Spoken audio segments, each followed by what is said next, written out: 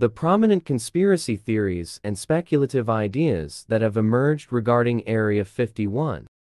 Number 1. Extraterrestrial technology and aliens. Perhaps the most well-known theory is that Area 51 is hiding evidence of extraterrestrial contact. Some believe that crashed UFOs and their alien occupants are being kept and studied at the facility. Claims of government collaboration with aliens have also surfaced, although no concrete evidence supports these assertions. Number 2. Roswell Incident Connection Area 51E's proximity to the 1947 Roswell UFO incident has fueled the theory that wreckage from a crashed UFO was transported to the facility for analysis. This event is often cited as the starting point of modern UFO conspiracy theories.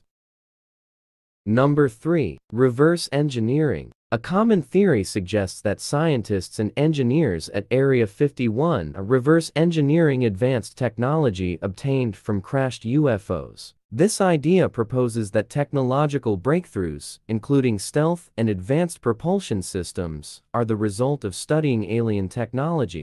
Number 4. Time travel and interdimensional travel. Some theories propose that the technology being developed and tested at Area 51 goes beyond conventional aircraft and could include experiments related to time travel or interdimensional travel. Such ideas often lack substantial evidence and are rooted in speculative fiction. Number 5. Secret Space Program. Some speculate that Area 51 is involved in a secret space program that includes the development of advanced spacecraft capable of traveling to other planets or even other star systems. These claims often intertwine with the extraterrestrial technology theories. Number 6. Weather control and mind control.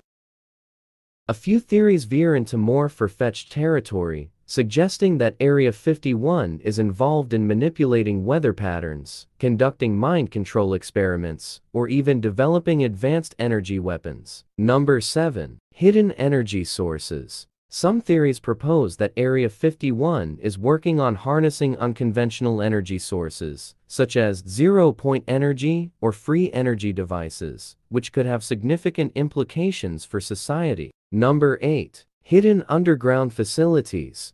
Speculation also surrounds the possibility of extensive underground facilities beneath Area 51. These supposed underground complexes might house secretive experiments or house advanced technology.